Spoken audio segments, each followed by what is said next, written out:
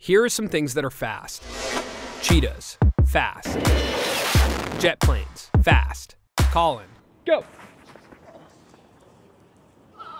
Not really all that fast. IMG Academy athletes, fast. Lacrosse, the fastest game on two feet.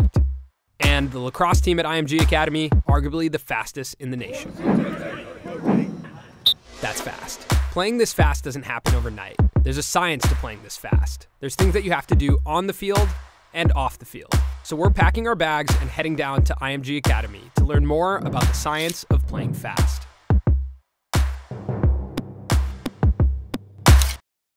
In order to play fast, you have to practice fast. So that was our first stop. Come on, play fast, let's go! You ain't gotta think, move the ball! This is Coach Mark Burnham. He played at Syracuse in the 80s. Well, the playing style I try to bring is uh, one I grew up with. And this is Coach Matt Kerwick.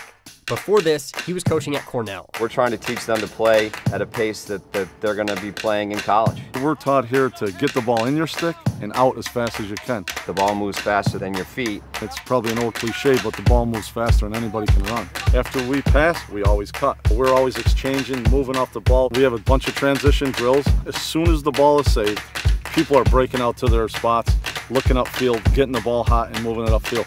And then it's off to the races. And we give everyone the green light. You have to have a mindset that every single drill I'm going to play at speed and, and, play as fast as I can. It's a fun way to play, it's a great way to play, and it's a, the way the game should be played. How you doing? Good, man. How are you? Good to see you. How you guys been? How you doing? This is Matt Wheaton. He's the strength and conditioning coach for the lacrosse team at IMG. We're looking for the individual who can sprint five yards, turn on a dime better than his opponent. Speed is a technique, speed is a performance quality. If you train fast, you will be fast. We had Matt take us through one of the team's workouts that focused on speed. You'll notice we're wearing these patches on our arms. We'll explain later, but for now, all you need to know is science. Can a car go from 0 to 60 instantaneously?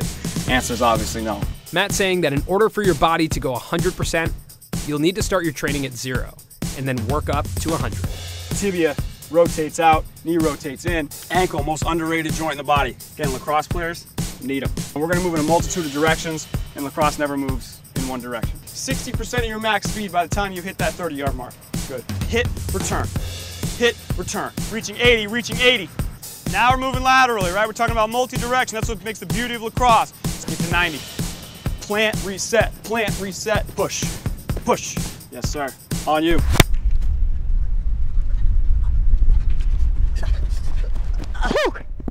I think you had me in the beginning there. I think you came through at the end. Overall, good workout. Fast play isn't just about having quick feet and a good stick. It's also about making decisions, the right ones, in the least amount of time. One of the big things that we talk about here in the Mind Gym, basically see, think, and do. If we can get you to see the visual cues quicker, you understand what they mean, it helps you to go out there and actually act on it faster. Your fastest was 0.28 on your visual. This is called a Dynaboard, and this is what it helps you with. It was able to pick out those visual cues, maybe look for that open man or look for open space, and then be able to act upon it.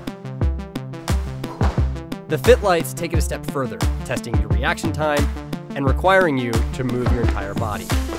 You got 15 hits in that time, and your average reaction time was 1.6 seconds. Here's what the fit lights can do for your game. If it was a higher light to defend it and try and block a passing lane, or get up close on an attackman, or if it was on the ground, you would have to dig it up like it was a ground ball, but every time you had to drop back into a ready position. Our biggest takeaway was that when we calmed down, took a deep breath, and slowed our mind, our scores improved and we got faster.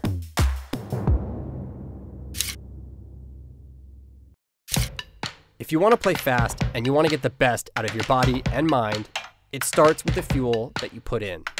If you're not fueling up the right way, uh, with as hard as we train and as hard as we practice, you won't be able to finish it.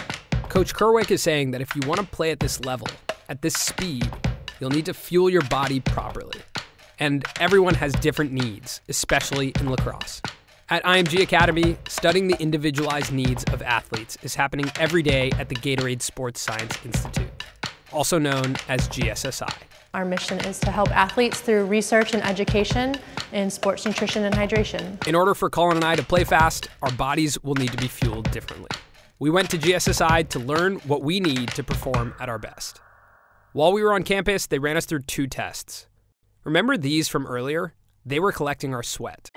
Every athlete has um, different sweat rate and they lose different electrolyte amounts. So replacing both the sweat that they lose and also the electrolytes they lose can be very important to helping them maintain performance. Next up, the fuel profile test. If you could think of yourself as like a car that runs on two fuel tanks, one where you use fat for fuel and one where you use carbohydrate for fuel. We want to see how your body uses each of those fuels, especially the one for carbohydrate because as an athlete, uh, that's your primary fuel source for intense activity. Four, three, two, one. Now grab the side rails and hop off. Grab the belt. Oh.